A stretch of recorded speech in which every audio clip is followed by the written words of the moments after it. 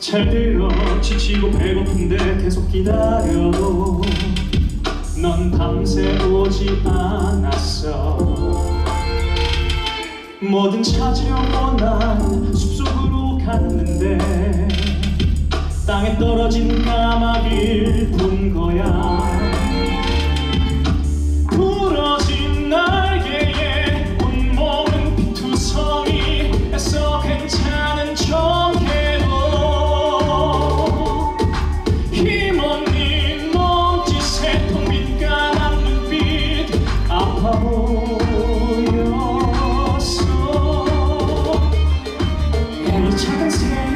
새야. 대체 뭘 기다리는 거니 다 널 떠났는데 yeah.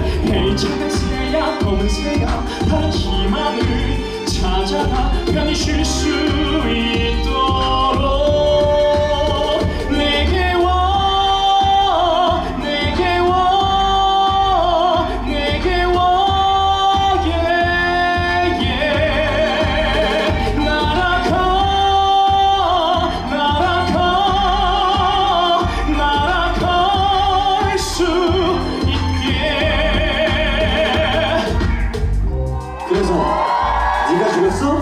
까마귀로 파이 만들면 맛있대 티콜라! 그럼 이미 벌레한테 뜯어 먹히면서 죽어가는 애를 그냥 지켜봐? 난 그런 역겨운 짓 하기 싫은데 대체 오늘 뭐가 문제야? 문제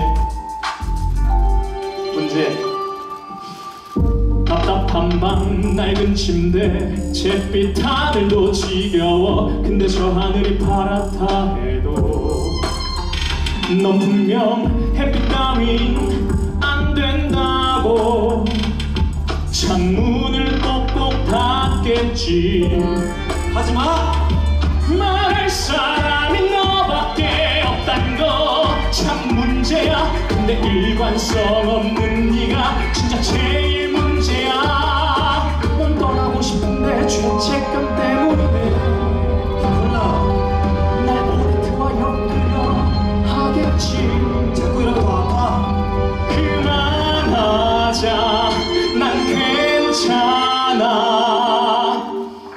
넌 신도 구원자도 아니야. 넌 아니야. 제발 그만 집어쳐.